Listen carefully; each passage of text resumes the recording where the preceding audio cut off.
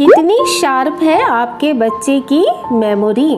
क्या कठिन समय में वह ले सकता है सही फैसला? जानिए ऑल इंडिया मेमोरी टेस्ट से। E certificate for all participants और इवनली पाँच लाख प्राइज भी जीतने का मौका। नमस्कार, मैं कविता, आप सभी का मेरे YouTube चैनल कविता इस हेयर पर बहुत बहुत हार्दिक स्वागत करती हूँ। एक गोल्डन अपॉर्चुनिटी के रूप में इस वीडियो को आप, आपके साथ शेयर करना चाहती हूँ। तो चलिए आज का कंटेंट स्टार्ट करते हैं। रिपीट कितनी शार्प है आपके बच्चे की मेमोरी क्या कठिन समय में वह ले सकता है सही फैसला? जानिए ऑल इंडिया मेमोरी टेस्ट से। क्लास सिक्स से ट्वेल्थ तक के बच्चे इस टेस्ट में हिस्सा ले सकते हैं। ओके नेक्स्ट वन क्यों करें participate first reason is increase logical thinking second help sharpen the focus next one improve decision making and last of all but not least boost memory retention. Okay, next one.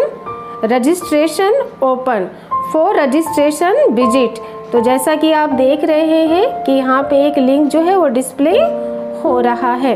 Very simple W W W all India memory test dot com तो इस पे visit करके successfully आप अपने बच्चे का या स्वयं का जो class six to twelfth student हो, अपना रजिस्ट्रेशन डन कर सकता है। मेरी हार्दिक शुभकामनाएँ आप सबके साथ एडवांस में।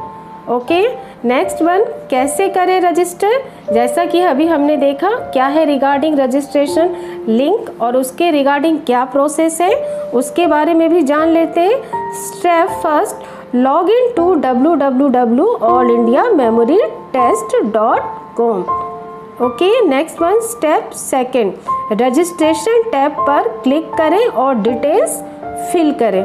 नेक्स्ट वन स्टेप थर्ड अपनी क्लास सेलेक्ट करके दिए गए ऑप्शन में से फाइव फेवरेट सब्जेक्ट्स सेलेक्ट करें. ओके आपके पास वहाँ पे नंबर और सब्जेक्ट्स की लिस्ट रहेगी, जिसमें से आपको फाइव फेवरेट सब्जेक्ट्स जो है वो चूज़ करने होंगे.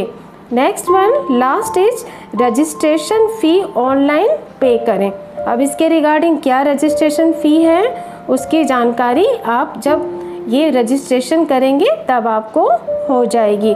और जैसा कि मैं पहले भी बता चुकी हूँ कि e certificate for all participants और win prizes worth rupees five lakhs and very important evenly most important part of this effort.